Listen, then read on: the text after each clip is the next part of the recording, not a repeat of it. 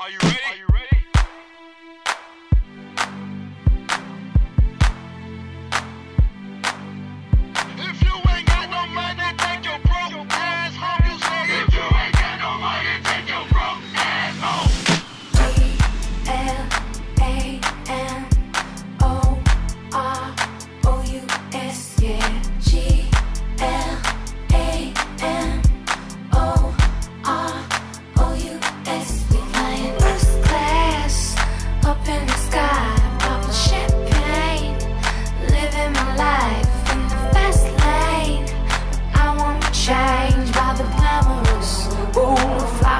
house.